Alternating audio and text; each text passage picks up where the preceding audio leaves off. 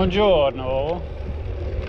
Hát ma ismét kirándulós napunk van, de igazság szerint mivel a Chiao hágó útba esik, ezért gondoltam, hogy én ringával megyek, Barbi pedig a Fálca régón átviszi az autót, Cortina fölött találkozunk. Itt is most van egy ilyen kis pup, ez a múltkori bringázás vége, ez a Staulanza hágó. Ez az első emelkedő, épp jó bemelegítésnek, és utána jön majd a Giau, egy kicsit még a Duran Durannál is meredekebb, viszont rövidebb.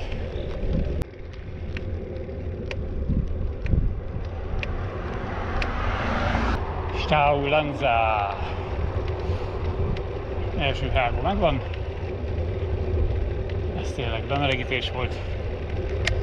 Innentől tovább egyelőre Szelvel Picadórébe, és akkor majd onnan fel a Giao hágóra, az lesz a napnak a csúcspontja.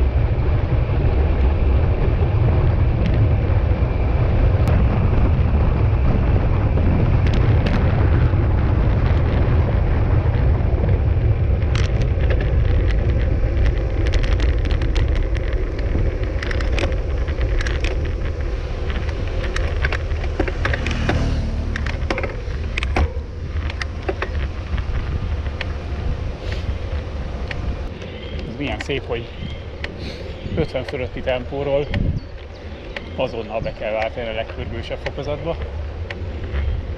Úgy néztem, ilyen 9-10 százalék, a 9 a komfort teteje ezzel a pingával, és ennek is kb. 15 a vége, az már nem komfort. De hát a Dolomitok talán legszebb hágója, úgyhogy ezért meg kell küzdeni. Tornate sette. Azon gondolkodom, hogy gondolkodtam a harmadik ilyen visszafordítónál, hogy ez a Tornate tre. Tehát mondhatjuk azt, hogy Tornatre? Vagy lehet, hogy csak simán kevés az oxigén.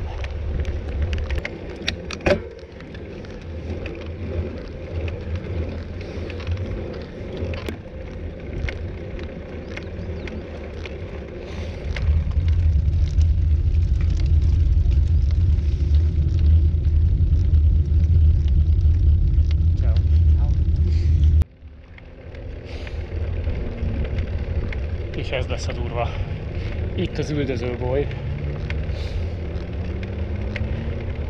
Egész rendes tempó különbséggel.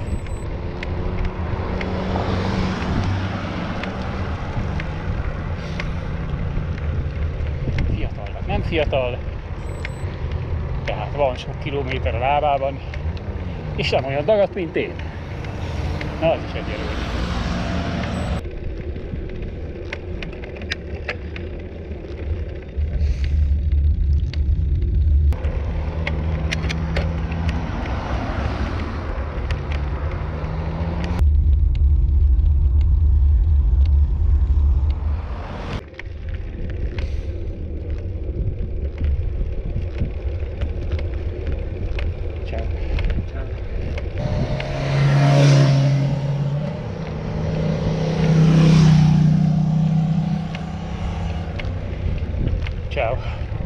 What a beautiful bike.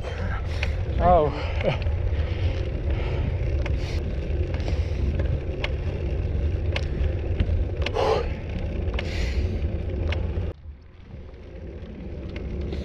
Ugi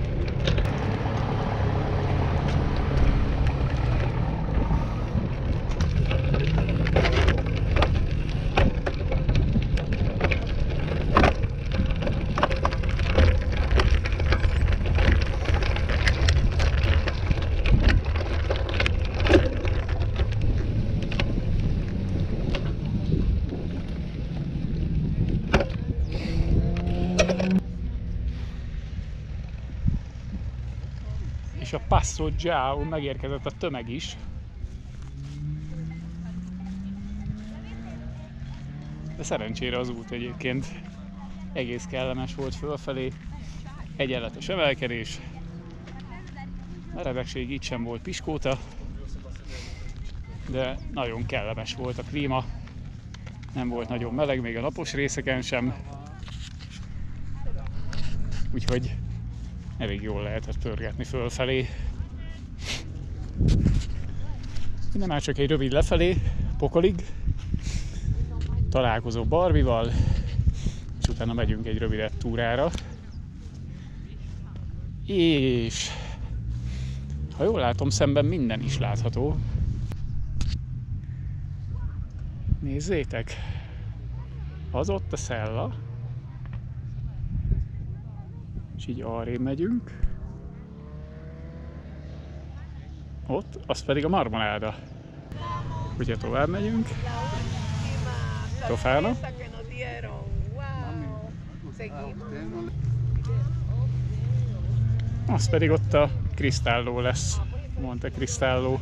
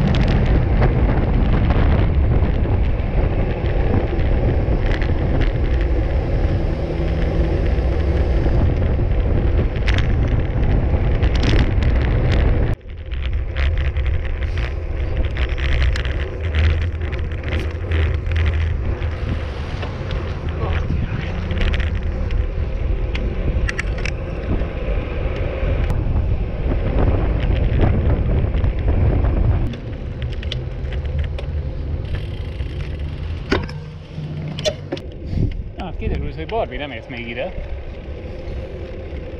Úgyhogy nem indulok fölfelé Fálcerégónak. Aztán valahol majd szembe találkozunk.